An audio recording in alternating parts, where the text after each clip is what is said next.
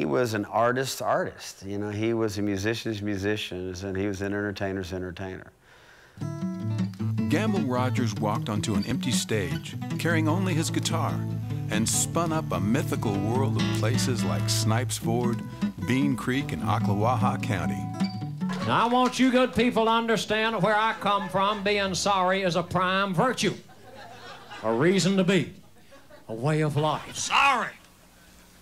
Or as they say in Habersham County, he was flat eat up with a dumbass. If, if you go right to the root of when he started telling stories, it was probably when he learned to talk. I mean, he...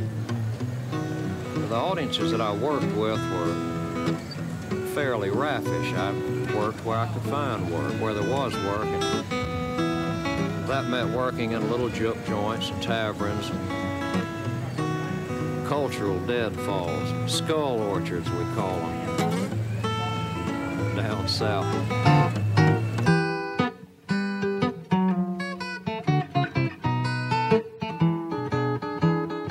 We went down and listened to him, and then uh, I, I was just mesmerized. I mean, I don't think anyone ever watched Gamble that wasn't mesmerized.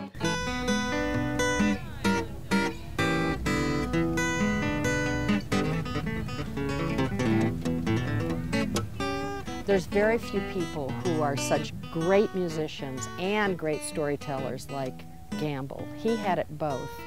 I, I just felt like I was just watching a master at his craft.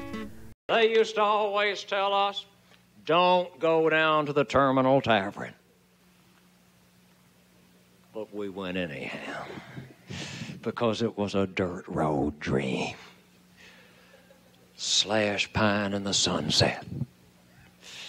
A vermilion blush of neon beyond. Terminal Tavern, Terminal Tavern, Terminal Tavern. Ter- Inside the Terminal Tavern, a ceiling underslung with fish nets encrusted with detritus, starfish bereft, and streaming down the steaming midnight air a million shattered dreams that dangled like declensions of despair.